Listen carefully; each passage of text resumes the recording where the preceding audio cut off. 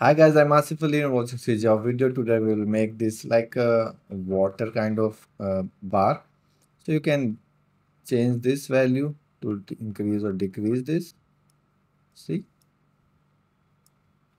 And we have ton of control here. We can change color and lots of things we can do. Wave height, wave number of wave speed, lots of things we have. So let's start this tutorial. All right, so let's start this. So I'll just right click, make a material and and what I'll do, I'll just make it a flat planar here. I'll choose and then I'll make it unlit. Maybe that. First thing we need, uh, we'll take this shape, uh, rounded rectangle, just connect it here. Then two vector for the size and I'll think 0.7, 0.05 will be perfect. And then for these, this pinch, I'll just reduce the corner radius and this is perfect. You can make it maybe 0.8 if you want like almost touching to edge or maybe 0.9, whatever you want. Okay, so you have this uh, and then first thing what I'll do, this is our mask. Okay, now rest of the thing we will do so let's say you have a texture coordinate and shift C for the mask and so I'll take the green channel. If I preview, this is a gradient. And now to offset it, you can subtract value, but we want more control. So I'll take the smooth step and this should be a value. And then we will make parameters for minimum and for maximum and maximum should always be greater than the minimum so I will add these together and then connect. So basically if you just multiply this mask with a lower value like 0.2 so we can overlap the layers and we can see if both are visible properly. And now you can add the let's saturate and let's add these together. So now we can see this gradient and this shape all together because it has less opacity. Okay and let's save it and we will check the values in instance. Then we will put the default values here whatever we will like. So i'll just drag it here and right click and make instance open this on a planar open these you can make it down make it fair and now you can see uh, this much i think. You can make this like half this much so now you know uh, things how it's going. And now instead of adding, I will multiply these. So this gradient will cut through this shape. I can delete these. Okay. Now if I save and go back to my instance, now you can see. Okay. But there should be a full shape also uh, just for the, uh, the mm, like a uh, frame. So i will just multiply this again like and let's control the parameter. Uh, i'll call it frame opacity. Okay. And by default maybe 0.1 and then i'll add back to here. Let's save it. So now you have this. You can decrease it even more maybe 0.02 and we can make this sharper faded and we can make it like this. So you have this control to fill it up or now we have to make it like a wave because we are making liquid. So this is the UVs or my this liquid. Let's also put the default values so this is my minimum value. I'll copy and paste it here. And this is my maximum value. I'll copy and paste. And this is 0.02 okay? Now uh, it will be same as here so we can work. So now we have to make it wavy and this is the UVs for that. For this part this white part. So to make it wavy you can take again a texture coordinate or use the same if you want. And let's mask uh, this red channel. This is graded left right then if I add time and then use a sine, I will have these things moving straps. Cool. And this is like minus to uh, negative to positive. Okay, you can absolute use absolute if you want, but I don't want. Then I will multiply and I'll call it wave height. This is wave height. I think height spelling is a mistake. It's okay. So this is wave height by default is zero. And I will add this to the UVs of my water, my liquid. Cool. And if you increase or decrease the sine value, so the thickness uh, the, of these slabs will be changed, but you cannot make the parameter of it. So for that, you can just multiply before the sine. So this will be, you can call it number of waves. Cool. So now you have number of waves, you have height of waves, and let's just save and check how it goes. So now here, if I increase the height of waves, you can see, and we have to make this real time. And now we can decrease it maybe this much. And then we have number of waves. Looks cool, right? Then we have to make the speed of waves. So I will multiply the time and call it speed of waves. Cool.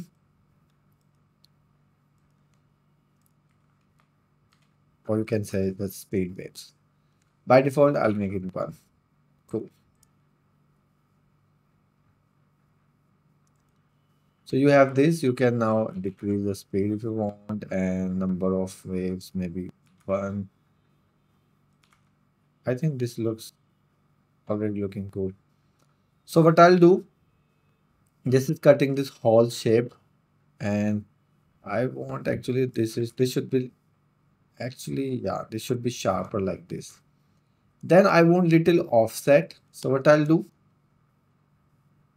I actually I want to duplicate this whole thing. You can make a function but I'll just duplicate for now just to showcase. And I'll just add 2 in all parameters because this is my second wave. And let's multiply at the very end uh,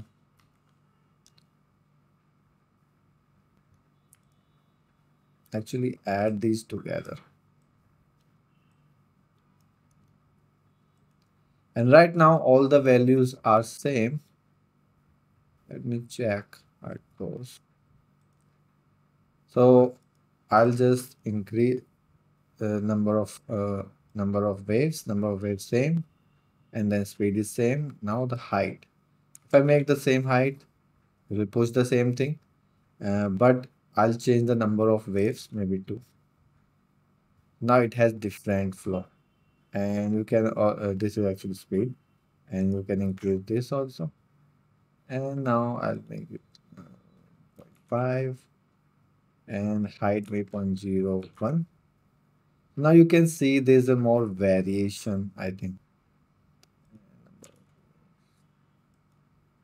1.5 and speed 0.6 0.8 0.015 so this is how you can make i'm just showcasing if i make this zero this is default. And number of waves i'll put one again 0.01 so there is now a now variation in it. Now the third thing, you can actually fade this from here. We want something like a droplets kind of thing. So for that, we are, uh, this is the gradient we are using, this one. So what I'll do, I'll take a noise actually, this noise.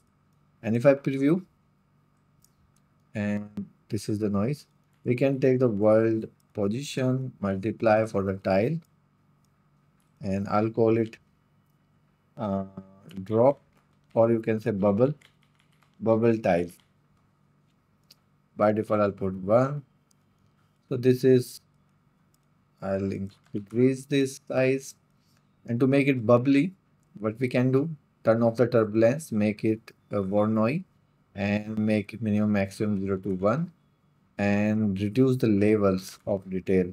This one. So it will be round shape. Cool. You can of course invert it to make it white. These things. Okay. Now you can add here and then you can use smooth step again. And now I'll put the different names for this. Oops, what I just did. I need actually just maximum. I'll call it minimum 2 and maximum 2, which is for my drops. And we have also tile for drop. So let's save it for now and let's check how it goes. Here. So first thing, these are the, we have to use this minimum 2 and maximum 2. Bubble tile, let's make it 5 or maybe 10. So it's smaller. Then we have this minimum maximum. So I will increase the maximum. This, yeah. See?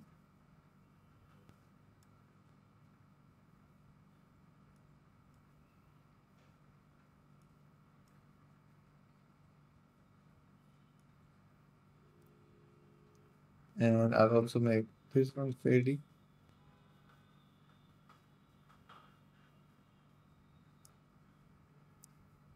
And instead of adding, I will actually multiply this bubble thing.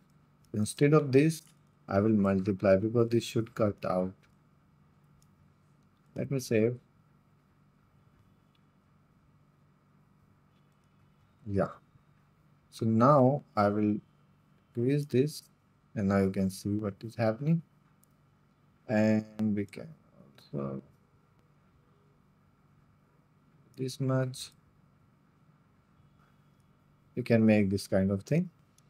And you can also use the power here to just decrease this.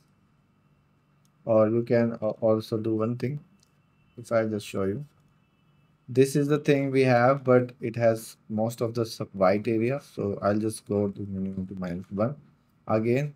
So it will be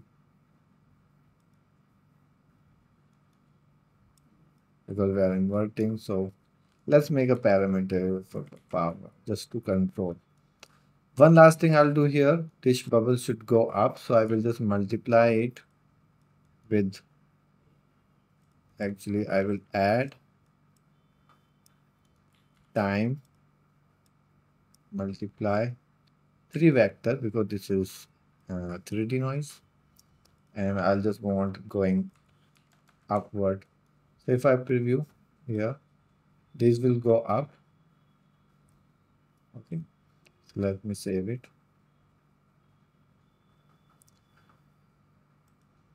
And now here we have this power we can increase.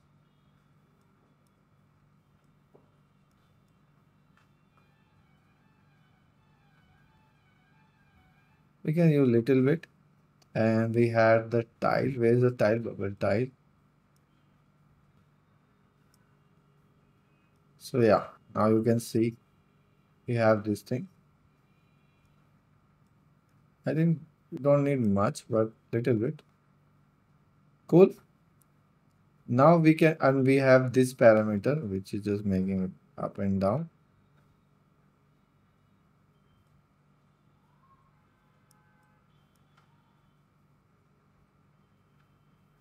Just you have to set your settings, nothing else.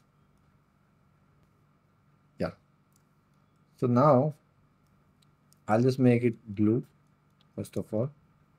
Here. Color.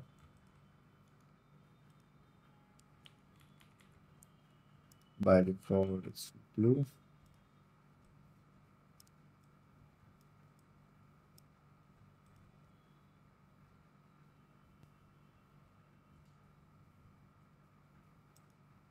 Yeah. And we have the color parameter, so we can make it darker or lighter, whatever we want. So it's animating, but now I want to like uh, fade it from, uh, dissolve it from one side. So because this minimum value you will see 0.4 means this height if I increase it or decrease it, it will change the height so 0.56 is making the height 0 so 0.45 so we can play with this this minimum value the first one this one.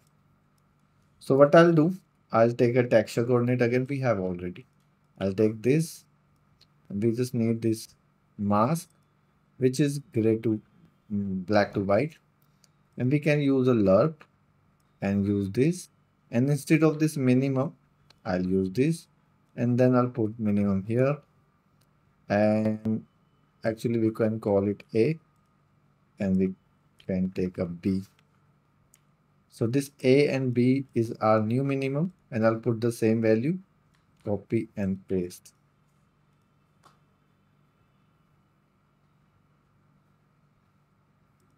Now both side height same, but with this A and B, if I increase or decrease, you can see it's changing. Like this. Cool.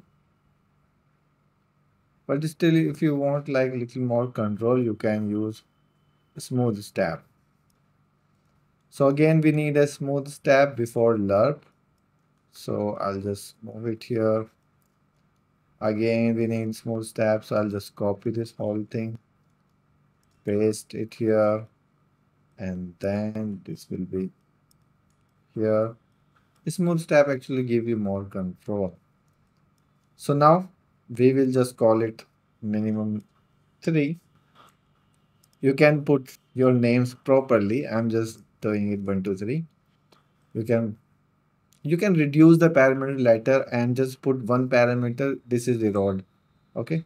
So now 3 and 3 so you can see how it's going. And with the maximum you can increase little bit. And with this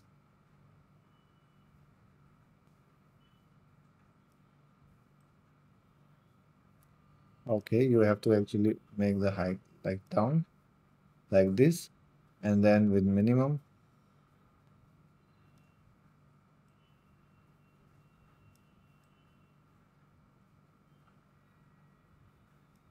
like this. So now with minimum 3 we can just go like this maybe a little bit more.